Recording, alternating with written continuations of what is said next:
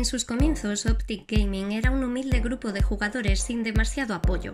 No contaban con un gran capital, ni con el personal técnico necesario para tomar las riendas del show.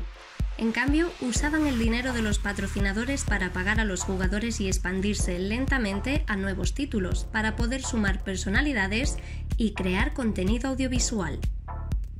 Eran tan solo un grupo de gamers que disfrutaban del ambiente competitivo y las plataformas digitales. Dirigido por Héctor Rodríguez, Optic encontró éxito tanto en YouTube a través de sus vídeos como en la escena competitiva gracias a Call of Duty. Su crecimiento durante los años les permitió convertirse en una fábrica de celebridades, dando nacimiento a una serie de superestrellas del mundo del gaming, como lo fueron Nayshot o Scamp. Hey yo, next week we're going to EGL. Antes de recibir apoyo económico, la única competencia directa que enfrentaban era Face Clan, que también contaba con una buena mezcla de presencia online y en la escena de los eSports. Sin embargo, en noviembre de 2017, Neil Liebman, uno de los dueños de los Texas Rangers, invirtió en el equipo, cambiando su panorama para siempre. Estos fondos le permitió al plantel abandonar Chicago y reagruparse en Texas, donde comenzaron un nuevo capítulo de su historia. Lo que sucedió en los siguientes 18 meses, tras una serie de altibajos, termina llevándonos ante un Optic Gaming que ya no es lo que era. Pero, ¿cómo sucedió todo esto? Y sobre todo, ¿por qué ocurrió tan rápido?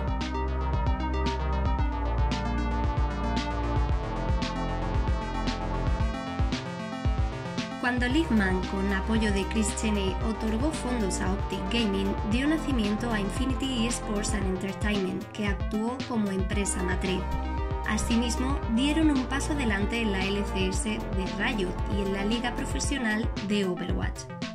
La nueva combinación del talento de Héctor para la creación de marcas y un gran capital económico parecía ideal, teniendo un potencial casi ilimitado, la entrada a estas ligas también coincidió con sus primeros pasos en otro juego.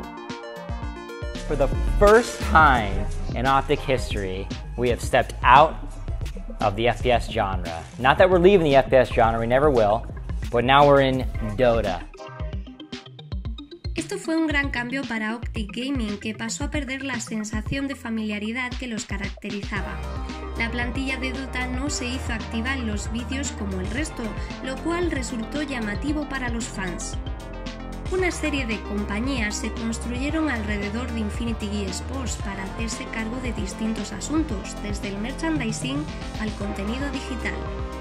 Con estos negocios apareció la necesidad de contratar un nuevo equipo técnico que cubriría estas problemáticas pero actuaría de forma independiente. Esto terminó de marcar un claro alejamiento de los orígenes de la organización, que con los años había ganado una fiel audiencia.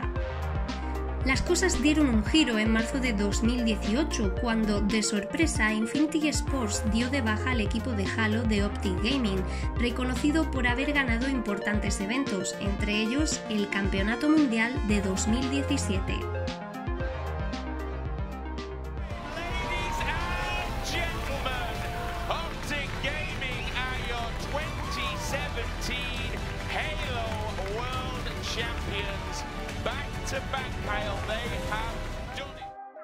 Esto no solo golpeó a los fans, sino que también afectó a los jugadores, que rápidamente mostraron su disgusto.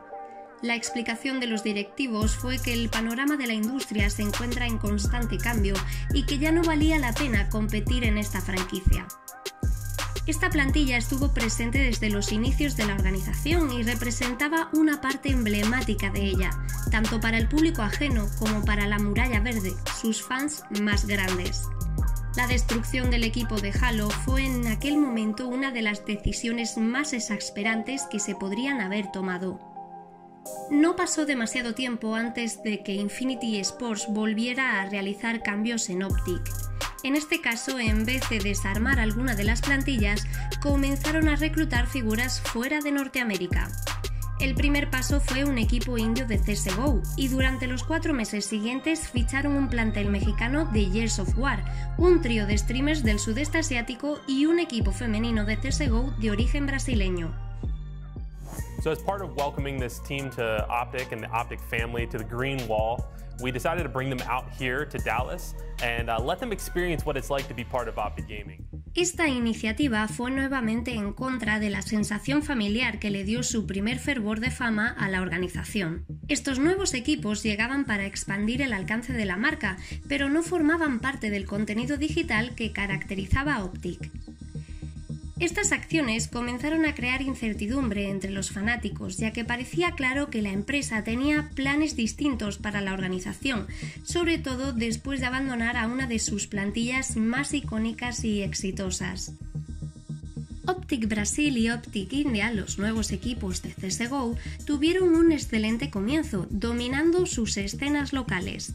Por el contrario, Optic México se enfrentó a complicaciones para sentarse en una posición dominante y el equipo del sudeste asiático no parecía sumar ningún tipo de valor. Optic Global duró varios meses, pero su caída comenzó con un escándalo que hizo eco a nivel internacional. Nikhil Forsaken Kumawat, miembro de Optic India, fue hallado culpable del uso de cheats durante el torneo de CSGO de Streamland. Esto no solo causó una investigación y baneo del torneo, sino que también significó el fin de Optic India. Asimismo, y en efecto dominó, comenzaron a caer el resto de plantillas internacionales. No cabe duda de que su inclusión significaba un gran gasto para la organización y ante la rápida e intensa recepción negativa era la solución más lógica. Sin embargo, Optic Gaming se mantuvo en los titulares hacia el final de 2018, esta vez porque su empresa matriz sufrió una serie de despidos dentro de su staff, entre ellos el propio Chris Cheney, quien colaboró con la adquisición en 2017 y había tomado la posición de presidente. A modo de suplente temporal, quien cubrió esa posición fue Ryan Musselman, Optic J, miembro fundador de Optic Gaming desde sus inicios en Call of Duty. Él adjudicó los despidos al rápido crecimiento de la organización y a la necesidad de generar cambios para lograr estabilizarse. Liebman también comentó sobre estos despidos, sosteniendo que estos cambios eran la manera indicada de organizar el equipo para el éxito a largo plazo en la industria. Esto pareció un gran paso para los fans, quienes culpaban a Cheney por las malas decisiones que se habían tomado en el último tiempo, como Héctor explicó más adelante en un podcast en 2019, no todo era como parecía y él tuvo conflictos con Optic J por el manejo de su querida marca. Well, you know, those those are all hints as that I was seeing that I was just like, and I remember like Jay and I fighting as, as all this was th- it was was happening because they were making decisions without telling me, and I was I was like I'm like what I'm like we can't we can't do things like this. We can't do things like this. Right. This is not how we, we, we do things. It, it, it was mind blowing to me that that quickly, within three months, that you know culture was being thrown out the window. Yeah. Asimismo, también comentó cómo Optic J casi elimina al equipo de Call of Duty, movimiento que hubiese sido devastador para su plantel, sus fans y para la escena de Call of Duty en general. Afortunadamente, esto no sucedió gracias a un ultimátum dado por el mismo Héctor. There was contract issues, um, and it wasn't so much the contract or the players, but it was more of the person that was representing the players that these people couldn't get along with. Right. Because of that external factor that had nothing to do with the players, they got to the point to where like, you know what, we don't even want to deal with that anymore. So we're gonna have to let them go. I go in there and I was talking to to Cheney and Jay, and they were talking about this, and I'm like, we're not dropping that team. If you drop the team, I'm leaving too. And if I leave, everybody else is gonna leave too. Esto fue suficiente para mantener el status quo, pero demostró cómo de lejos podía llegar la empresa para modificar la organización. Tras la llegada de Optic J al puesto de presidente, hasta las declaraciones de Héctor, Optic Gaming estuvo rodeada de una gran incertidumbre, jugadores y personalidades constantemente removiendo y añadiendo a la organización de sus descripciones sin contar con respuestas concretas para el público. Optic J tried to Thanos us. Kidding me? He really did, dude. Esto se mantuvo así hasta que un reporte indicó que Immortals estaba interesado en adquirir la mayor parte de las acciones y por consiguiente todas las propiedades de Infinite eSports. Para el 12 de junio de 2019 se anunció oficialmente que la transacción había sido exitosa y que Optic Gaming pasaba ahora a formar parte del portfolio de marcas de Immortals. Ari Segal, CEO de Immortals, se mostró ansioso de poder trabajar con la marca y destacó su compromiso y el de toda su compañía con mantener la esencia de Optic para toda su fiel comunidad, la Muralla Verde. Días antes de este anuncio, el icónico grupo de creadores de contenido de Optic Gaming pasó a formar su propia marca, titulada Old Guard. Su objetivo aún no se ha hecho evidente, pero por el momento sus cuentas funcionan para promocionar la venta de merchandising. Este movimiento por sí solo, por más de que no resulte económicamente fructífero, deja en claro la posición de los miembros más emblemáticos de Optic.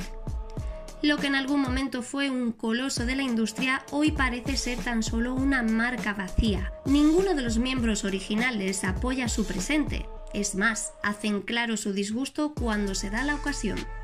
Esto se hizo evidente cuando se anunció que Immortals y por consiguiente Optic compró la franquicia de Los Ángeles para la próxima liga de Call of Duty.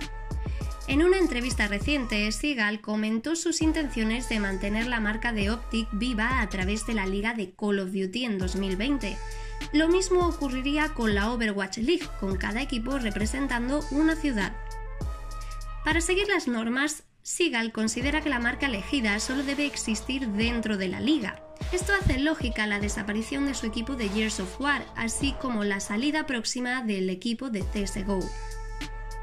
Si Optic solo se concentra en la liga de Call of Duty y deja de existir en el resto de juegos acorde a las reglas de Activision Blizzard, es claro que perdurará como marca, pero perderá todo aquello que la hizo única. Si este termina siendo el caso, será lamentable para los eSports, pero por desgracia es una tendencia en esta industria en crecimiento, por lo cual es posible que se vuelva a repetir. La posición de Héctor Rodríguez todavía no es del todo clara. Si queda cumpliendo algún rol en Optic, todavía hay esperanza para los fans, pero también existe la posibilidad de que se separe y cree su propia organización. De todas formas, está claro dónde radica la lealtad de los jugadores y de los seguidores, junto a él. Durante muchos años, Optic Gaming fue una anomalía dentro de la industria, conectándose con los fans de manera especial. La compra y todos los incidentes que siguieron demostraron que el vínculo es con la gente que conformaba ese plantel original. Optic Gaming parece haber cumplido un ciclo. Comenzó compitiendo solo en Call of Duty, pasó luego a expandirse a nuevos títulos y finalmente volvió a concentrarse solamente en Call of Duty.